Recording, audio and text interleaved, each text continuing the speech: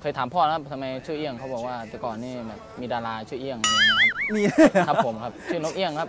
คำว่าฟุตบอลมันไม่ใช่ช่วงระยะเวลาสั้นๆครับเราต้องมองไปอนาคต ถึงว่าวันนี้มันไม่ใช่ของเราแต่วันต่อไปก็ต้องเป็นของเราครับ คือตอนนี้ผมก็พยายามจะเล่นฟุตบอลให้เต็มที่ก่อนครับ เพราะว่า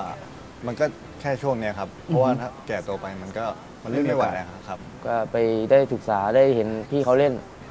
ก็ เป็นแรงบันดาลใจให้ผมตั้งแต่ตอนเด็กๆ ฟุตบอลลูกกลมๆอะอืมมีลมอยู่ข้างในใช่ไหมพี่